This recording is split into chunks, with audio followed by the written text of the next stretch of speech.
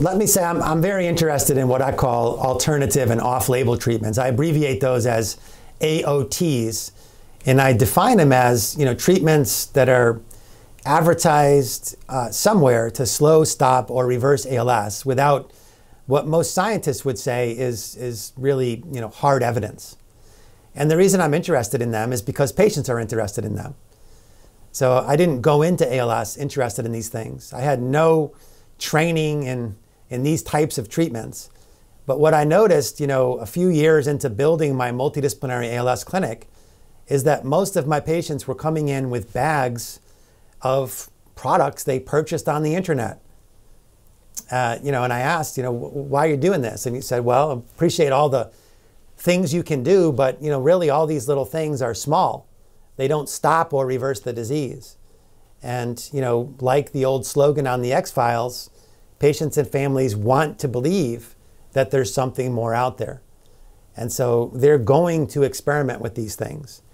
And I would rather have them experiment with me involved, maybe helping to guide them toward more promising treatments and away from more expensive or potentially harmful things.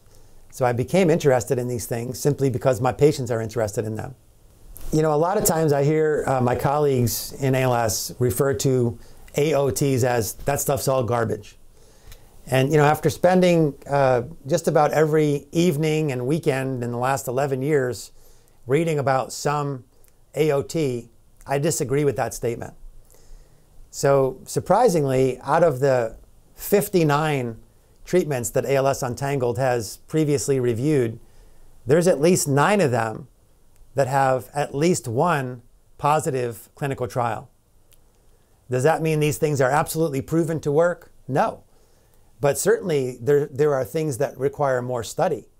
I mean, we don't have the answer in ALS. And so if some odd thing is out there with a positive study, we'd have to, we have to follow up on that. We have to, you know, do a, a, larger, you know, better designed study to really figure out if this is something that might help patients. You know, when we have the conversation about research, I'm a big advocate for people getting involved in clinical trials.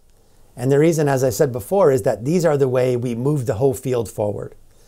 But there are always going to be patients who either can't find a clinical trial they qualify for or can't find one that's designed in a way that's acceptable to them.